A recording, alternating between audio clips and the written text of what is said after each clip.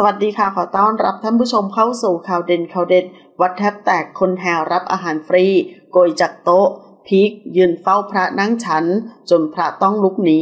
เมื่อวันที่ 14 พฤศจิกายน กลายเป็นคลิปวิดีโอไวรัลในโลกโซเชียล ถูกวิพากษ์วิจารณ์อย่างหนัก เมื่อผู้ใช้ TikTok รายหนึ่ง ซึ่งโพสต์คลิปวิดีโอ งานบุญณวัดแห่งหนึ่ง ที่จังหวัดศรีสะเกษพร้อมเขียนข้อความในคลิปวิดีโอว่าให้พระฉันก่อนรีบเกิน อดอยากกันมาจากไหน โดยในคลิปวิดีโอเผยให้เห็นผู้คนที่มาร่วมงานบุญในครั้งนี้จำนวนมากกำลังยืนบริเวณโต๊ะที่เต็มไปด้วยอาหาร เพื่อแบ่งเอาอาหารบางส่วนกลับบ้าน ขณะที่พระสงฆ์กำลังนั่งฉันพัตตาหารในโต๊ะนั่นเอง โดยในคลิปวิดีโอมีเสียงของเจ้าของโพสต์ตะโกนเตือนผู้ร่วมงานใจความว่า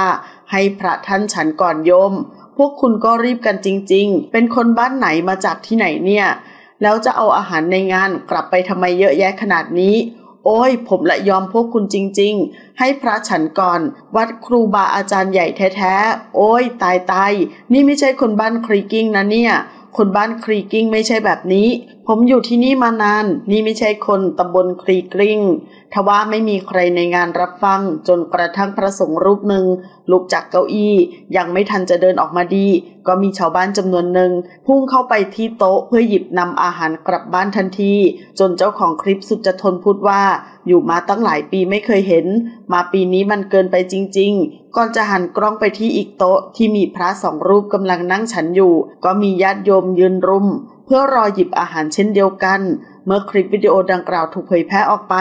ก็กลายเป็นไวรัลในโลกโซเชียลจำนวนมาก มีชาวเน็ตเข้ามาแสดงความคิดเห็นวิพากษ์วิจารณ์ ของผู้คนในงานอย่างหนัก บางคนคอมเมนต์ว่าพฤติกรรมเช่นนี้ ไม่เหมาะสมเป็นอย่างมากพระนั่งฉันอยู่ แต่กลับยืนรุมจ้อง เพื่อจะเข้าไปเอาอาหาร ในคลิปพระยังไม่ทันลุกออกจากโต๊ะดี ก็พุ่งเข้าไปแล้วทำไมต้องรีบขนาดนั้น